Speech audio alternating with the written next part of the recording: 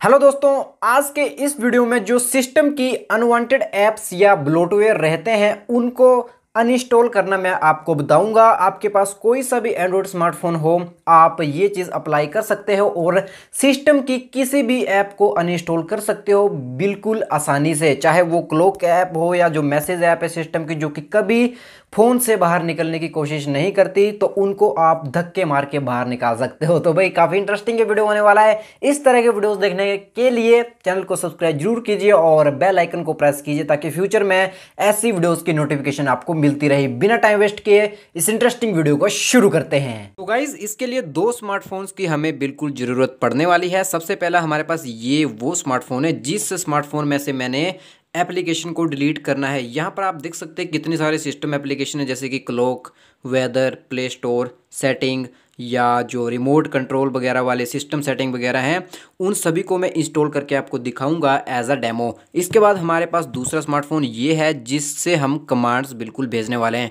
Okay तो यहाँ पर आपको दो एप्लीकेशन सबसे पहले डाउनलोड करनी पड़ेंगी। सबसे पहले जिस स्मार्टफ़ोन से आप कमांड भेजोगे, यानी कि ये वो वाला स्मार्टफ़ोन है, और दूसरा स्मार्टफ़ोन हमारा ये वो वाला है, जिसमें से हमने एप्लीकेशन को अनइंस्टॉल करना है। तो जिस स्मार्टफ़ोन से कमांड भेजनी है, यहाँ पर आपको एप्लीकेशन डाउनलोड करनी है A D B O T G कुछ इस तरह का ये एप्लीकेशन है, बिल्कुल आप देख सकते हैं। तो ये वाला जो दूसरे नंबर वाला एप्लीकेशन है, आपको इसमें सिर्फ़ यही डाउनलोड करना है A D B O T G और ये जो दूसरा एप्लीकेशन है ऐप इंस्पेक्टर, ये आपको इस स्मार्टफ़ोन में इंस्टॉल करना होगा, जिस स्मार्टफ़ोन में से आपने जो एप्लीकेशन हैं, उनको रिमूव बिल्कुल करना है। ओके? अब इस स्मार्टफ़ोन में भी मैंने इस एप्लीकेशन को यहाँ पर इंस्टॉल कर लिया है तो ऐप इंस्पेक्टर इसमें रहेगी और ए डी बी इसमें रहेगी। अब इसके बाद आपको दोनों स्मार्टफोन्स की डेवलपर ऑप्शन में जाकर, जो यू एस वाला ऑप्शन है, वो इनेबल कर देना है। तो जैसे ही आप डेवलपर ऑप्शन पर जाते हो तो यहाँ पर आप देख सकते हो U S B debugging है। इसको आप इनेबल कर दीजिए। ओके अगर आपको पता नहीं डेवलपर ऑप्शन कैसे इनेबल करना है तो सबसे पहले जो सिस्टम की सेटिंग है, उसमें जो सॉफ्टवेयर आपका वर्जन रहेगा, देखिए मैं आपको दिखाता हूँ यहाँ पर जो सॉफ्टवेयर वर्जन है। यहाँ पर जो बिल्ड नंबर है, इस पर अगर आप टैप करते रहोगे तो यहाँ पर आपको बता देगा कि इतने स्टेप्स में आप डेवलपर बन जाओगे। ओके तो यहाँ पर डेवलपर ऑप्शन आपको मिल जाएगा। जिस भी ब्रांड का आपके पास स्मार्टफ़ोन है, उसके अकॉर्डिंग ये चीज़ पॉसिबल हो जाएगी।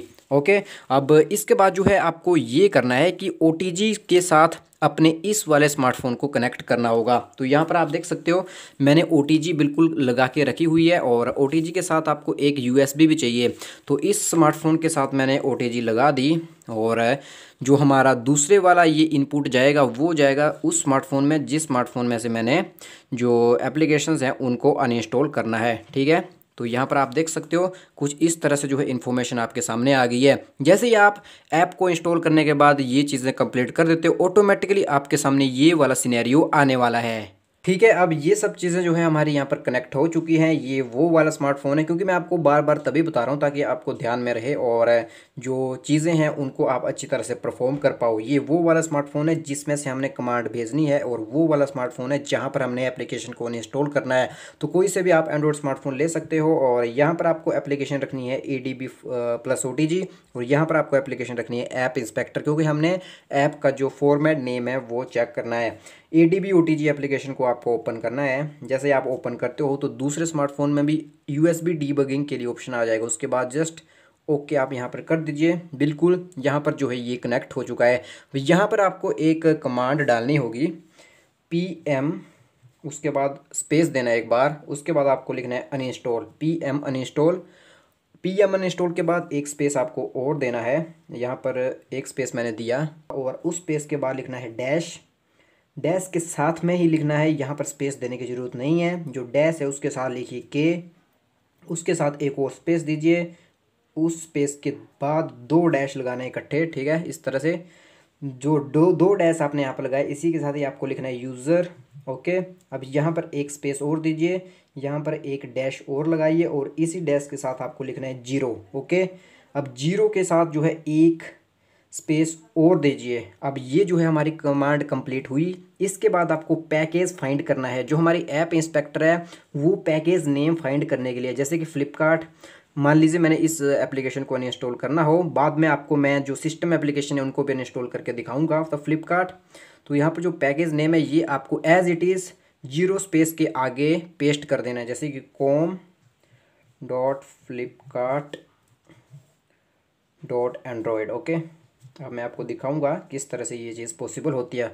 ज़ीरो के आगे स्पेस देना है और एज इट इज़ जो पैकेज टेम है वो लिख देना है। अभी यहाँ पर ये है फ्लिपकार्ट यहाँ पर जैसे मैं रन करता हूँ तो बिल्कुल फ्लिपकार्ट गायब हो गया। तो ये ट्रिक सक्सेस हुई। अब एक सिस्टम ऐप मैं आपको अनइंस्टॉल करके बताता हूँ। जैसे कि मैसेज ऐप है ओके मैसेज ऐप को नहीं करूँगा मतलब मैसेज ऐप किसी भी काम की मेरी आ सकती है।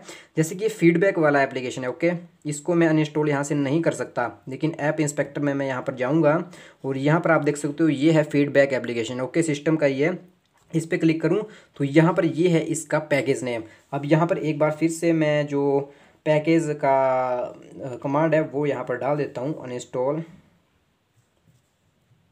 स्पेस के space double dash user space zero यहाँ पर रहेगा com dot L E T V dot Android dot bug reporter okay bug reporter हाँ ये मैंने ठीक ठाक ही लिख दिया मतलब। ओके, इसके बाद मैं बैक आ जाता हूँ। ये है हमारा फीडबैक एप्लीकेशन ओके? यहाँ पर मैं जैसे रन किया तो बिल्कुल फीडबैक एप्लीकेशन भी यहाँ से गायब हो गया है। अब कुछ और एप्लीकेशन यार, मैं कौन सा एप्लीकेशन यहाँ पर डिलीट करूँ? तो जो कंपास वाला एप्लीकेशन है, अब वो मैं आपको यहाँ पर डिलीट करके दिखाता हूँ। फिर से वही जो कमांड है, वो डालेंगे यहाँ पर। Dot Android dot compass Android dot compass okay यहाँ पर कम्पास कहाँ गई भाई? कम्पास ये है कम्पास यहाँ पर मैंने रन किया और कम्पास भी गायब. तो पूरी तरह से किसी भी सिस्टम ऐप को आप इस तरह से अनइंस्टॉल कर सकते हो। जस्ट सिंपली उस एप्लीकेशन का यहाँ पर ऐप इंस्पेक्टर में पैकेज नेम फाइंड करना है और बिना किसी दिक्कत के आप पाँच मिनट के अंदर अंदर किसी भी एप्लीकेशन को इस तरह से अनइंस्टॉल कर सकते हैं। तो दोस्तों, बस कंप्लीट हो गया है ये सारा प्रोसेस और मुझे उम्मीद है कि इस वीडियो को कंप्लीट आपने देख लिया होगा और किसी भी सिस्टम ऐप को आप आसानी से निकाल सकते हो, ऐसा कोई भी दिक्कत वाली बात नहीं है। फ़िलहाल वीडियो में इतना ही। मैं आपसे मिलता हूँ किसी नेक्स्ट वीडियो के साथ।